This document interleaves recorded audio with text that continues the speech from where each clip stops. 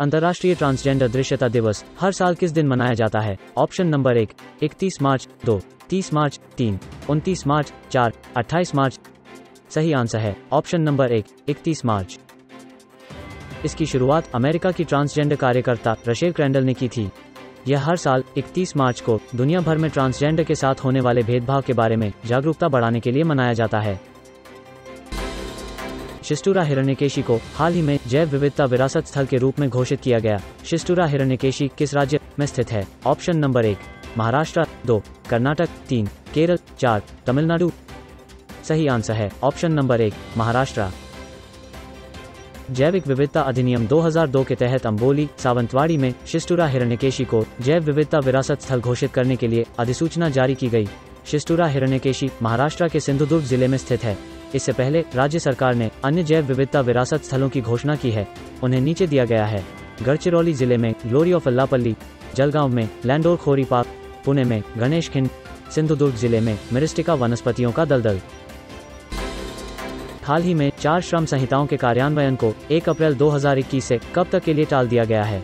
Option number एक एक मई 2021 दो, एक जून 2021 तीन, एक जुलाई 2021 चार, इनमें से कोई भी नहीं। सही आंसर है। ऑप्शन नंबर चार, इनमें से कोई भी नहीं। इससे पहले, श्रम मंत्रालय उन्हें 1 अप्रैल 2021 से लागू करने वाला था। इसने श्रम कोष के तहत नियमों को भी अंतिम रूप दिया था। राज्यों ने अभी तक कोष के तहत नियमों को अंतिम रूप नहीं दिया है। केवल कुछ राज्यों ने नियमों को अंतिम रूप दिया है, इसलिए कोर्ट के कार्यान्वयन को स्थगित कर दिया गया है। उस खिलाड़ी का नाम बताइए, जिसने हाल ही में जारी आईसीसी ओडीआई रैंकिंग सूची में शीर्ष स्थान पाया है। ऑप्शन नंबर एक स्टीव स्मिथ, दो। रोहित शर्मा, तीन। बाबर आज़म, चार। विराट कोहली, सही आंसर है। ऑप्शन नंबर चार, विराट कोहली।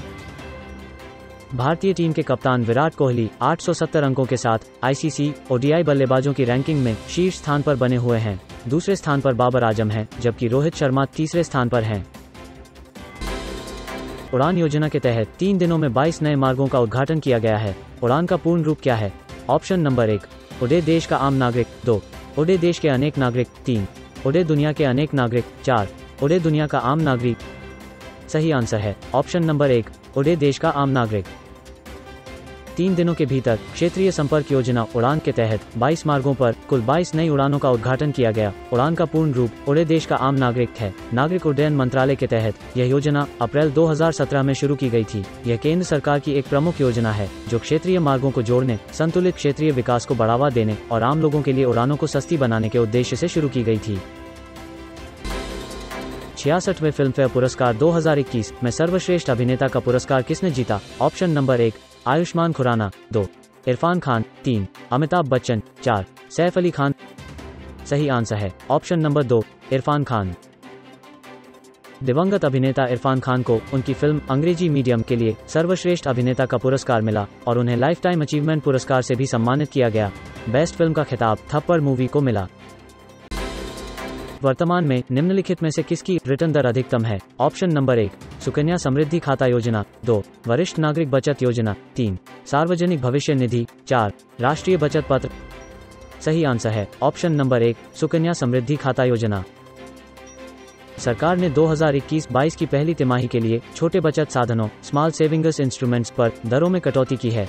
इसके साथ ही पब्लिक प्रोविडेंट फंड पर रिटर्न की दर सात दशमलव एक प्रतिशत से घटकर छह दशमलव चार प्रतिशत हो गई है। निम्नलिखित में से कौन सही ढंग से मेल नहीं खाता है? ऑप्शन नंबर एक तियानवेन एक चीन, दो, होप यू ए तीन, परसेवेरेंस, रूस, चार, मंगलयान, भारत। सही आंसर है। ऑप्शन नंबर तीन, परसेवेरेंस, रूस। नासा ने अपने मंगल मिशन का डेटा भारत, चीन, यूएई की अंतरिक्ष एजेंसियों और यूरोपीय अंतरिक्ष एजेंसी के साथ साझा किया। मंगल ग्रह पर सफलतापूर्वक अंतरिक्ष यान भेजने वाला पहला एशियाई देश भारत है। इसका मंगलयान 2014 से मंगल की परिक्रमा कर रहा है। अन्य एजेंसियों के मंगल मिशन के नाम आगे दिए गए हैं।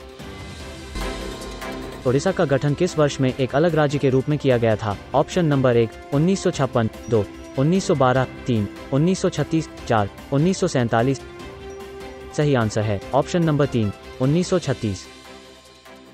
ओडिशा दिवस, जिसे उत्कल दिवस के रूप में भी जाना जाता है, हर साल एक अप्रैल को मनाया जाता है। यह 1936 में अलग राज्य के रूप में ओडिशा के गठन की याद में मनाया जाता है। इसका गठन बिहार और उड़ीसा प्रांत के विभाजन से हुआ था।